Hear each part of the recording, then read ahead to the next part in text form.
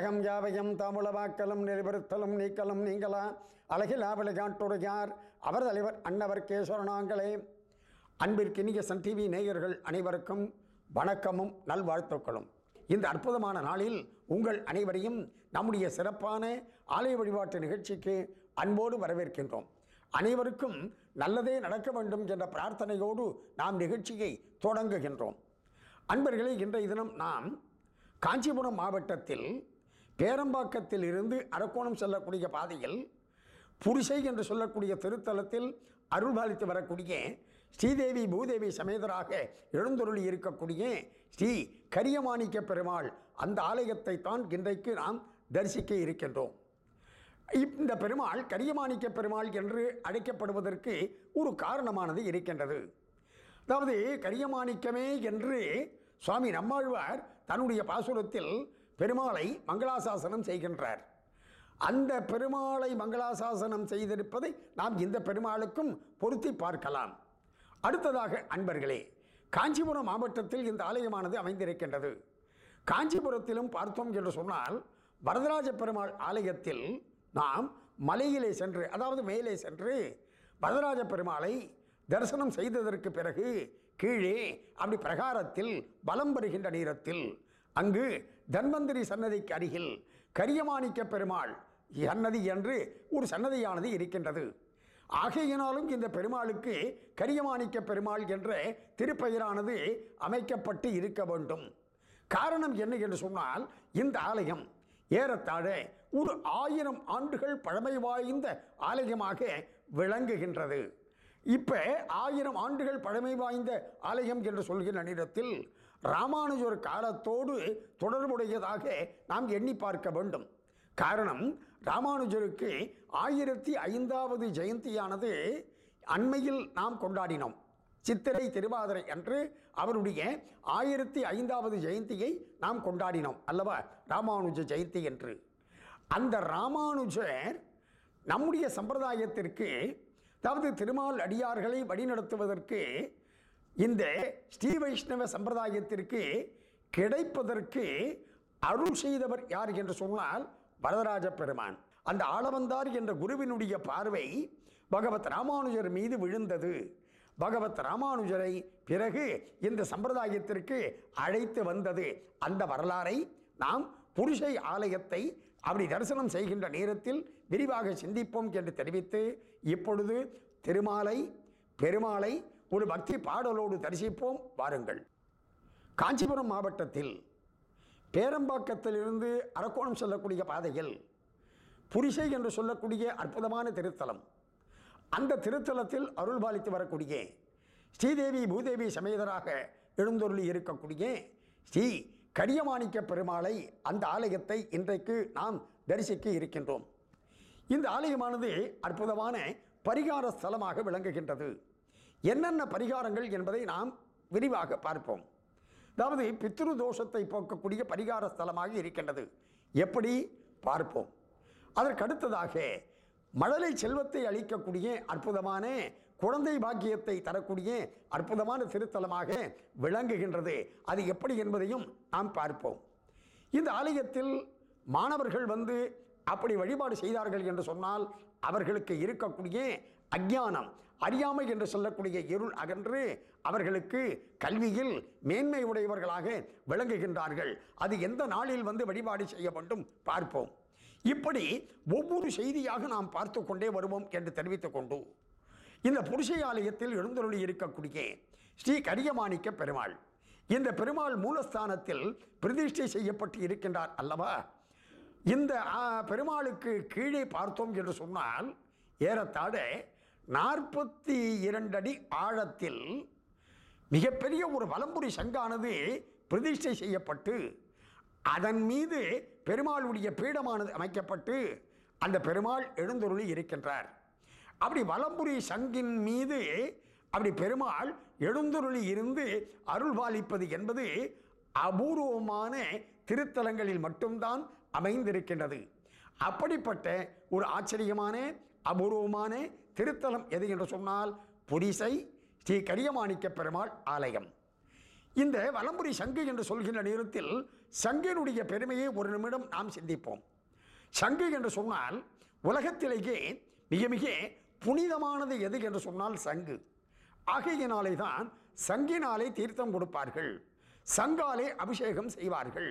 அப்படி சங்கு என்பது மிக மிக புனிதமானது ஒன்று.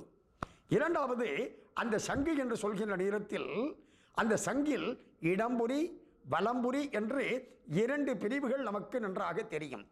அதற்கடுத்ததாக சலஞ்சலம் என்று ஒரு பிரிவானது இருக்கின்றது. அதற்கடுத்ததாக பாஞ்சஜன்யம் என்று ஒரு பிரிவானது இருக்கின்றது. நாம் இந்த சங்கை பற்றி அப்படி வகைப்படுத்தி பார்க்கின்ற பொழுது இடம்புரி சங்கு என்பது பெருவாரியாக எல்லா இடங்களிலும் கிடைக்கக்கூடியது. அதாவது அந்த சங்கையினுடைய வாய் பாகம் இருக்கின்றதே இடது பக்கத்தில் அந்த விளிம்பானது அமைந்திருக்கும். அதற்கு இடம்புரி என்று பெயர். அப்படியல்லாமல் வலது பக்கத்திலே அந்த சங்கையினுடைய வாய் பாகமானது அமைந்து இருந்தது என்று சொன்னால் அதற்கு வலம்புரி என்று பெயர். இந்த இடம்புரி சங்கு ஏராளமாக கிடைக்கும்னு சொன்னேன். ஆயிரம் இடம்புரி சங்குகளுக்கு மத்தியில் ஒரு வலம்புரி சங்கானது தோன்றும். அந்த வலம்புரி சங்கு என்பது ரொம்ப ரேர் ரொம்ப விசேஷம். காரணம் இடம்புரி தான் அப்படி ரெகுலராக கிடைக்கக்கூடியது. அந்த வலம்புரி என்பது ரொம்ப ரேர் என்ற காரணத்தினாலே அதற்கு ஒரு முக்கியத்துவமானது இருக்கின்றது. இந்த சங்கு கடலில் கிடைக்கின்றது. கடலில் இருந்து தோன்றியவள் மகாலட்சுமி. அந்த மகாலட்சுமியினுடைய சகோதரகா என்று இந்த சங்கை பற்றி குறிப்பிடுவார்கள்.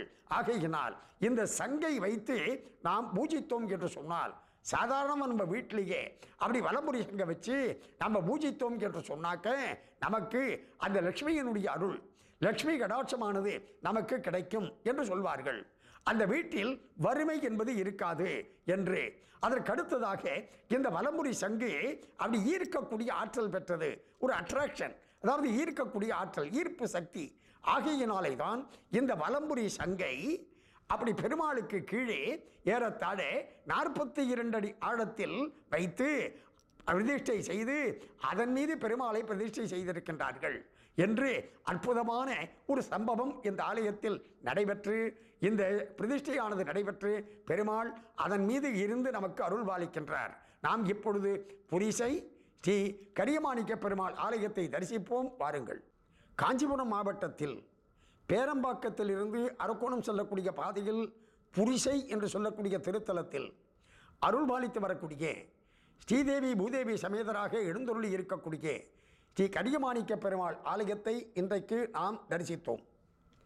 இந்த ஆலயத்தில் இருக்கக்கூடிய பெருமாள் கரியமாணிக்க பெருமாள் என்று பூஜிக்கப்படுகின்றார்.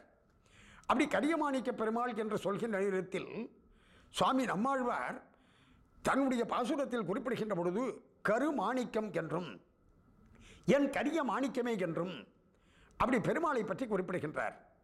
எப்படி என்று சொன்னால் அண்ணல் மாயவன் என்று அப்படி அந்த கண்ணபிரானை அழைக்கின்ற சுவாமி நம்மாழ்வார் என் கரு மாணிக்கமே என்று குறிப்பிடுகின்றார். இன்னொரு பாசுரத்தில் பார்த்தோம் என்று சொன்னால் இருளோடு அதாவது ஒரு சுடரோடு அதாவது அந்த இறைவன் சுடராகவும் இருக்கின்றான் இருளாகவும் இருக்கின்றான் அதாவது இயற்கை எல்லா காட்சிகளாகவும் அந்த எபெருமான் இருக்கின்றான். அப்படி இருக்கக்கூடிய என் கரிய மாணிக்கமே என் கண்ணுள்ளே வந்து நீ காட்டுவாய் உன் திருவுருவே என்று குறிப்பிடுகின்றார். அந்த பாசுரத்தில் என் கரிய மாணிக்கமே என்று அப்படி இந்த பெருமாளை பற்றி குறிப்பிடுகின்றார் சுவாமி நம்மாழ்வார். அப்படி கருமாணிக்கம் என்றும் கரிய மாணிக்கம் என்றும் அப்படி குறிப்பிடுவதற்கு ஒரு காரணமானது இருக்கின்றது. அதோடு மட்டுமல்லாமல் பெருமாளை பற்றி குறிப்பிடுகின்ற நேரத்தில் கருமணியே என்று ஆழ்வார்கள் பல இடங்களில் அப்படி பாடியிருக்கின்றார்கள். எல்லோருக்கும் தெரிந்திருக்கக்கூடிய ஒரு பாசுரம் ரொம்ப பிரபலியமான பாசுரம். என்ன என்று சொன்னால் மண்ணு புகழ் கௌசலைதன் மணிவயிறு வாய்த்தவனே என்று அப்படி அந்த குலசேகர பெருமான் திருக்கண்ணபுரத்தில் இருக்கக்கூடிய அந்த பெருமாளை பாடுகின்ற நேரத்தில் கணபுரத்து என் கருமணியே ராகவனே காலையிலோ என்று குறிப்பிடுகின்றார். அதாவது கணபுரத்து என் கருமணிகை என்று அப்படி கருமணிகை என்று சொன்னாலும் கரிய மாணிக்கம் என்று சொன்னாலும் ஒன்றுதான். அப்படி பெருமாளை கரிய மாணிக்கம் என்று குறிப்பிடுவதற்கு கருமணியை என்று குறிப்பிடுவதற்கு என்ன காரணம்? ஒரு அற்புதமான காரணமானது இருக்கின்றது. சாதாரணமாக இப்போ இறைவன் அப்படி கரிய மாணிக்கமாக இருக்கின்றான் என்று சொன்னால் மாணிக்கம் என்பது ரூபி. அதாவது மாணிக்கம் என்பது சிகப்பாக இருக்கும். ஆனால் பெருமாளை பற்றி குறிப்பிடுகின்ற நேரத்தில் அப்படி கரிய மாணிக்கம் என்று அப்படி குறிப்பிடுவதற்கு என்ன காரணம்? ஒரு அற்புதமான காரணம் இருக்கின்றது. என்ன என்பதை நாம் நாளைய தினம் விரிவாக பார்ப்போம். அதற்கு முன்பாக அன்பர்களே இந்த ஆலயமானது ஆயிரம் ஆண்டுகளுக்கு முற்பட்டதாக இருக்கக்கூடிய இந்த ஆலயத்தில் அண்மையில் மகா கும்பாபிஷேகமானது அதாவது சம்பரோட்சணமானது நடைபெற்றது. அந்த சம்பரோட்சணம் நடைபெற்றது என்று சொல்கின்ற நேரத்தில் இப்பொழுது இந்த ஆலயத்தை புனிதத்தோடும் அப்படி அர்ப்பணிப்போடும் நிர்வகித்து வரக்கூடிய புஷ்பவல்லி அம்மாள் ட்ரஸ்ட் அந்த அறக்கட்டளை.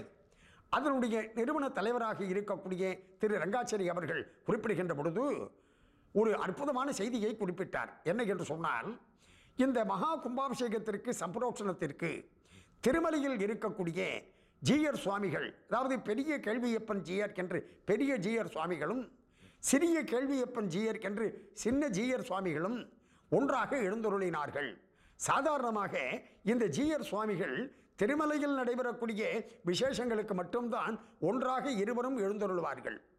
அதாவது வருகை தருவார்கள். மற்ற திவ்ய தேசங்களுக்கு என்று சொன்னால் யாராவது ஒரு ஜீயர் தான் அந்த திவ்ய தேசத்திற்கு செல்வார். ஆனால் இந்த திருத்தலத்திற்கு இரண்டு ஜீயர்களுமே எழுந்துள்ளினார்கள் என்று சொன்னால் அந்த திருமலையில் அருள்வாளிக்கக்கூடிய திருவேங்கடமுடையான் வேறல்ல கரியமாணிக்க பெருமாள் வேறல்ல என்பதை நாம் புரிந்து கொள்ள வேண்டும். அது எப்படி என்பதை நாம் நாளைய தினம் விரிவாக சிந்திப்போம். அதற்கடுத்ததாக இந்த ஆலயமானது மிகப்பெரிய ஒரு பரிகார ஸ்தலமாக விளங்குகின்றது என்று ஆரம்பத்தில் குறிப்பிட்டோம்.